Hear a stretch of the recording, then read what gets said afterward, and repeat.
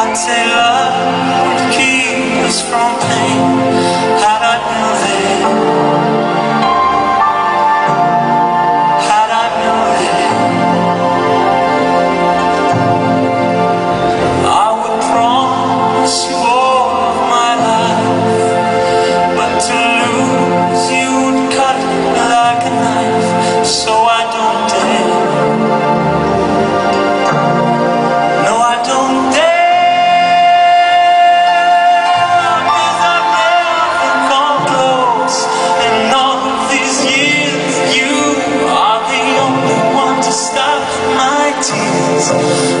sou